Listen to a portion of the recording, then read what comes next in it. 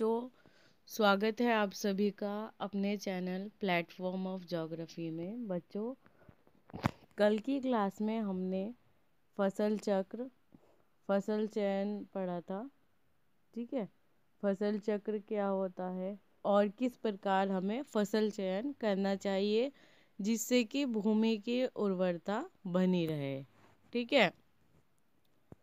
तो फ़सल चयन के अंतर्गत हमने फ़सल चक्र को प्रभावित करने वाले कारक पढ़े थे, ठीक है?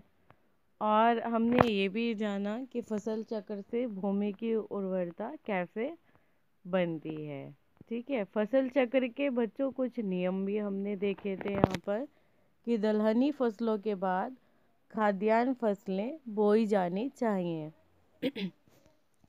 तो बच्चों, आज की क्लास में हम पढ़ेंगे अधिक पानी चाहने वाली फ़सल के बाद कम पानी चाहने वाली फ़सलों को बोना, ठीक है?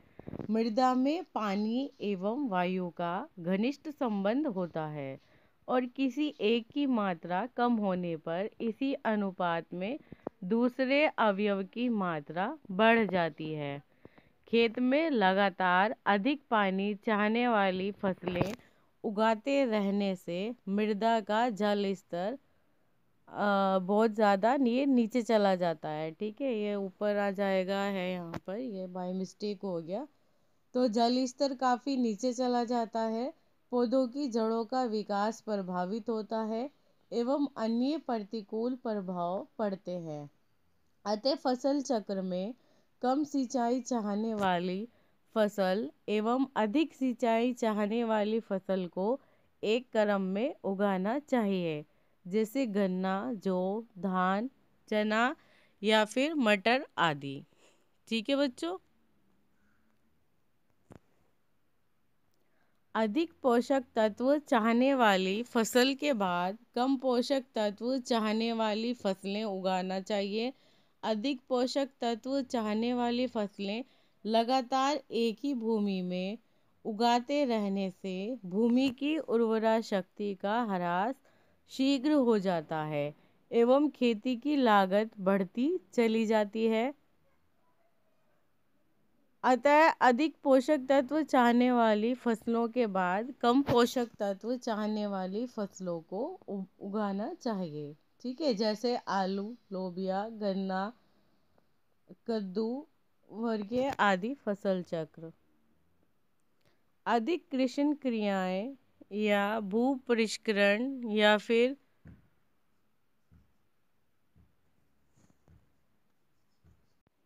चाहने वाली फ़सल के बाद कम कृषि क्रियाएँ चाहने वाली फ़सल उगाना, इस प्रकार के फ़सल चक्र से मृदा की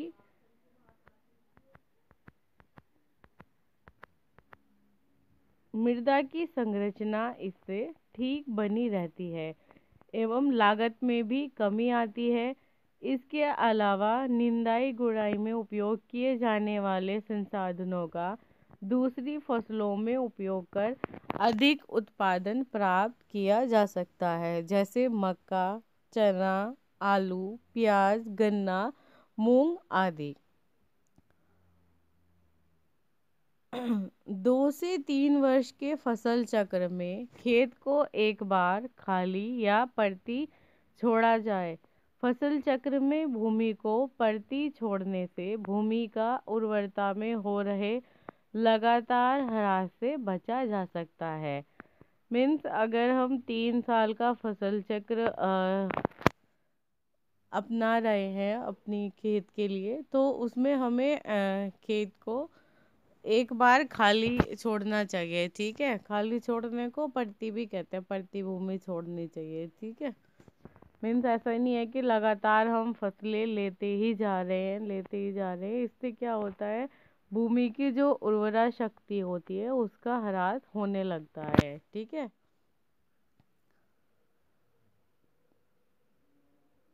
परती मृदा में नाइट्रोजन अधिक मात्रा में पाई जाती है, अतः अधिक पोषक तत्व पोषक तत्व चाहने वाली फ़सल से पूर्व खेत को एक बार खाली अवश्य छोड़ना चाहिए, जैसे मक्का, गेहूँ, मूंग, ज्वार, चना,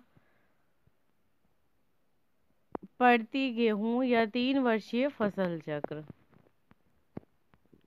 दूर दूर पंक्ति में बोई जाने वाली फ़सल के बाद घनी बोई जाने वाली फ़सल उगानी चाहिए। वर्षा के दिनों में सघन एवं भूमि को आच्छादित करने वाली फ़सल लगाने से मृदा अक्षरण में मृदा अक्षरण कम होता है, जबकि दूर दूर पंक्तियों में बोई गई फ़सल से मिट्टी का कटाव अधिक होता है। अतः ऐसी फ़सलों का हेर फेर होना चाहिए, जिससे मृदा कटाव एवं उर्वरता ह्रास को रोका जा सके, जैसे सोयाबीन और गेहूँ।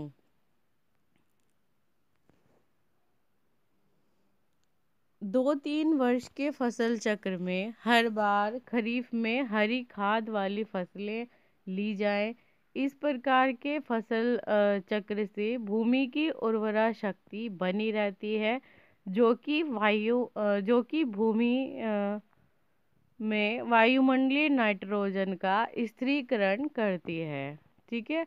हरी खाद के द्वारा भूमि में 40 से 50 किलोग्राम नाइट्रोजन प्रति हेक्टेयर स्थिर होती है। इसके लिए सनई, ढैंचा, मूंग, उर्द आदि फ़सलों का उपयोग किया जा सकता है। फ़सल चक्र में साग सब्ज़ी वाली फ़सल का समावेश होना चाहिए। ऐसा आवश्यकता की, इससे आवश्यकता की पूर्ति होती रहती है। अतः इसके लिए खरीफ, रबी या जायद की फ़सलों में से एक फ़सल सब्ज़ी होनी चाहिए, जैसे कि आलू, प्याज, बैंगन, टमाटर आदि।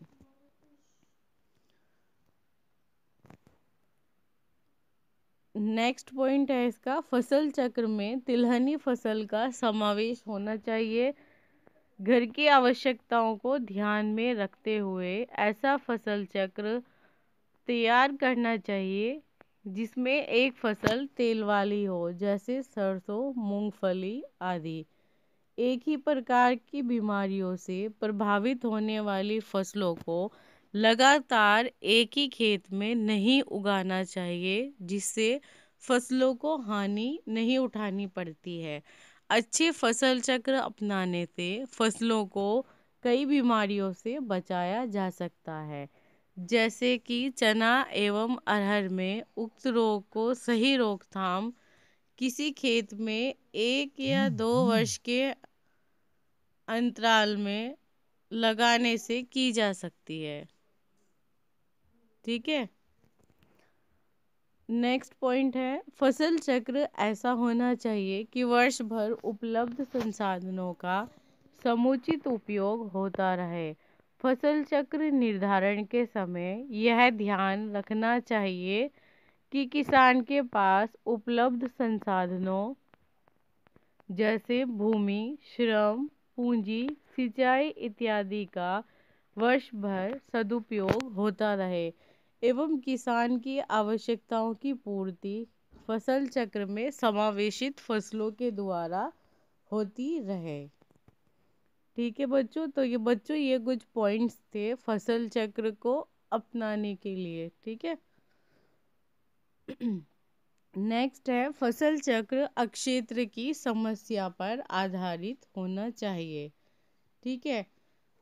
तो अक्षेत्र की भी काफ़ी समस्याएँ होती हैं। ठीक है तो हम जो भी फ़सल चक्र अपना रहे हैं, वो हमारे क्षेत्र की समस्याओं पर आधारित होना चाहिए, ठीक है? यदि भूमि ढालू हो तो भूमि को आच्छादित यानी ढकने वाली फ़सलों से भूमि अक्षरण में कमी आती है। इस प्रकार की फ़सलों को फ़सल चक्र में शामिल करने से मृदा जल का वाष्पीकरण के द्वारा होने वाली हानि को रोका जा सकता है।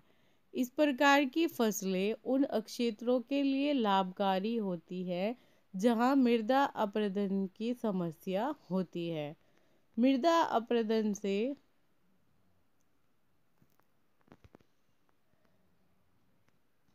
मृदा अप्रदन से उपजाऊ मृदा वे पोषक तत्व ढालू भूमि में पानी के साथ बह जाते हैं। इन परिस्थितियों में घास वाली और दलहनी फ़सलों को फ़सल चक्र में शामिल किया जाना चाहिए। इन फ़सलों की जड़ा, जड़ों में मृदा कणों को बांधे रखने की ताकत होती है।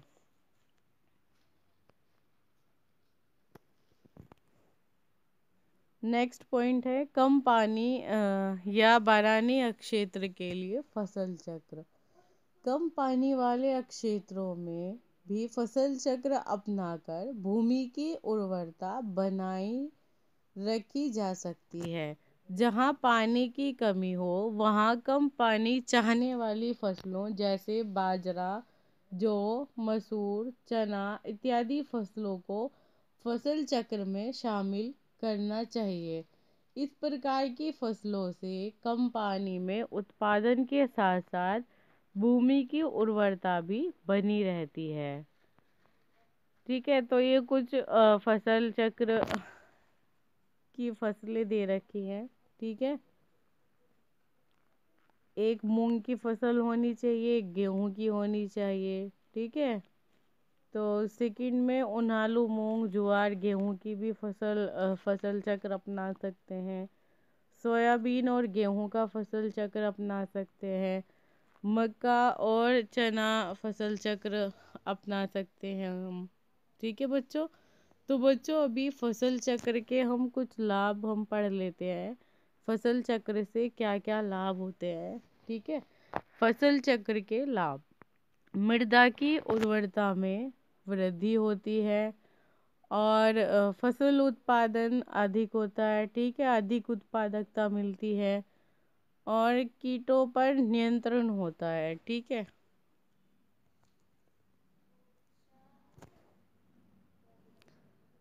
नेक्स्ट लाभ है से मृदा संरचना का विकास होता है।